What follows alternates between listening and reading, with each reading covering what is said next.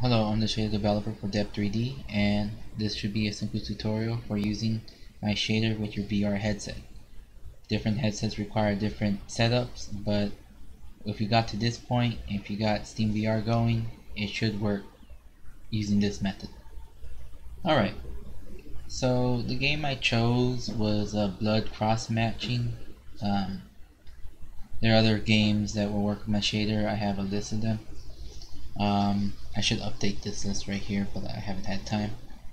So the first thing you want to do is actually download my shader. And for that you want to go to uh, well, this this forum post I have listed here. Go to my GitHub and download this as a zip file. You can open that up. All you really need is this shader here or this one depends on which one you want to use. And the game settings which will give you settings for different games. I am still working on this. So uh, give me time to finish that. So we're gonna need this shader so let's copy this over to the folder that uh, or to the game exe where you want to have it installed. Well, I have uh, I had a previous version of Reshade installed here, so I'm going to delete that. Let's make this new, and I had a previous version of the shader as well. Let's delete that. Put my shader into that folder. You're also going to need Reshade, which is um, get it from the Reshade's website, which is the same website as this one, it's just the main page. Click on download, download again, and it should download 1 uh, 3.07 but for this game itself we're going to use a, uh, a different version which will work properly with this game. So instead go back to the uh, settings folder. Game settings and go all the way to the bottom and this is a repository of the different reshade versions that you need or there are this is needed if you have a version of Reshade that doesn't quite work properly with your game. So in this case it would be 3.0 and Reshade 3.0.4. You want to download that. Once that's finished downloading, you can go and minimize this. You can go and install it. So let's go to my downloads folder. And it should be 3.0.4. Start that up, select game. And in this case, it's Blood CM, so I have that installed on my desktop. It should be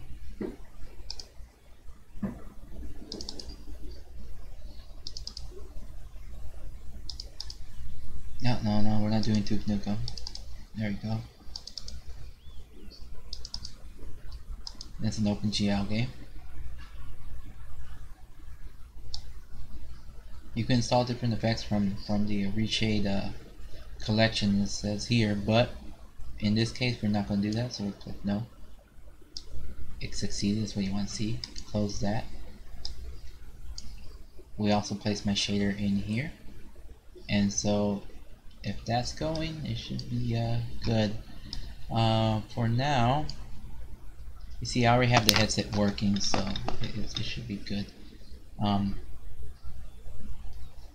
now we need to, uh, once we have my shader in there, we also have this installed. We want to start up uh, virtual desktop. You may want to have that installed. There's also other like other uh, systems like virtual big screen or whatever they want to call that um, you can use that too, but I heard it has a uh, much harder or harsher pen penalty on your FPS. So in this case, we're going to use Virtual Desktop. So let's launch that up. It should be starting the Steam VR.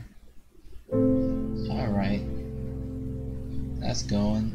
I probably should put my headphones on so I don't uh, play the music over my voice.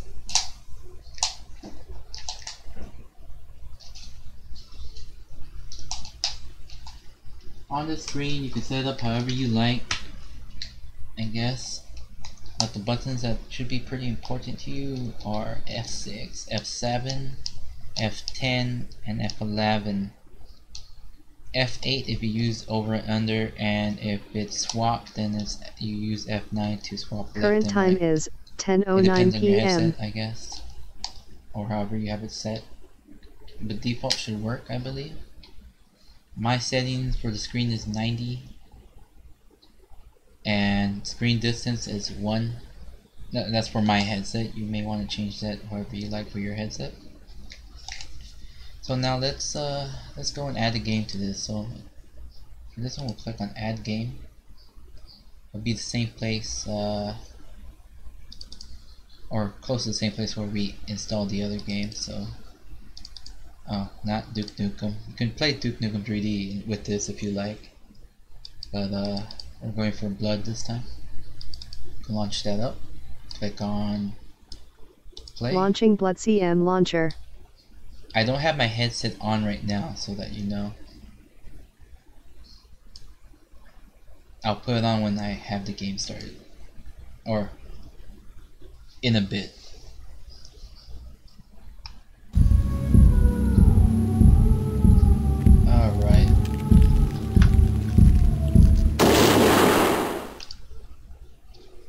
First thing you want to do is press shift F2 click on continue click on uh, the little plus sign uh, put whatever you want in here whatever name. For me I'm gonna put 3D hit enter click continue click finish. Alright let's uh, alt tab out this and go back to the settings really quick. So Okay. In the settings, we're going to, um, should have kept it open. No, it is open. No, no, it's not open. So let's go back to the master shader. Oh, we passed it. Game settings, and let's look for blood. It's already here. So blood CM for blood cross matching. It says depth map 2 and adjustment 8.75. Remember those settings? also read below so let's scroll down see what's what's going on with read below. So this is blood cross matching here. This will tell you where to get the game how to install it how to install uh, the shader and what you need. So there's a little how-to within in here as well if you really need to and what I needed to change to get it to work properly. So these are more advanced settings for the game but I already have the game set up so so it should work this way. So let's go back to the game and remember that it's 8.75 and the depth map is 2. So let's click on this, change it to depth map 2. Turn on the shader. You can toggle this by uh, saying your toggle key. So so right now we're just going to turn it on. We're not going to set a toggle key. You can also have a cross cursor in the game if you really need to. So that, that's something. It's inverted, so let's fix that I guess. Current time is 10:12 p.m. I guess we know the current time. So let's uh turn off that cross shade. Uh, well, I think we'll leave it on. Do we need it? Yeah, actually we do need it, so I'm gonna leave it on. And click on new game. Way the Flash. Okay, let's do this. Alright, now we set the uh, depth adjustment, which is 8, 75. Divergence, I guess in this game we can max it out. Max is 35, we can always overwrite that value. So for this game, there's not very much like advanced geometry in the game, so we're gonna set that to 50. Actually, that's a little too strong, it's to 45.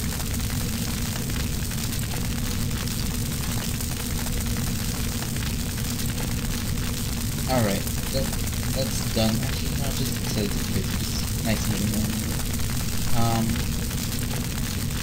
now, with these settings, it should be fine. The game should have 3D already. It should show up very well.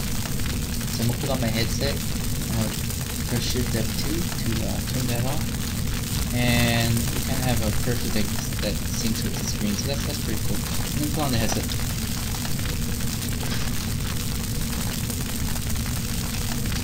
Alright, there's a split screen, so if I remember the key for this, I think it's F4. Okay, that's not F4, not F6.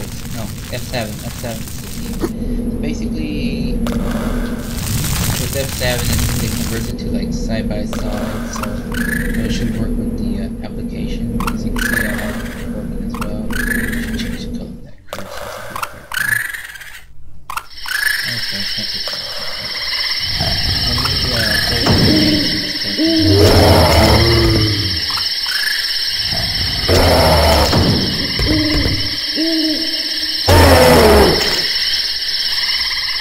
should be an okay amount 3D pop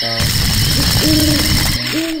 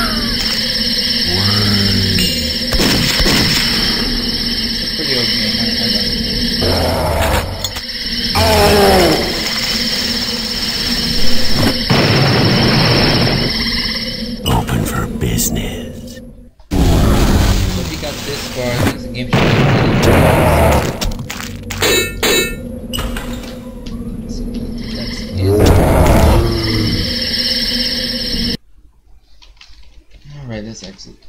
Yes.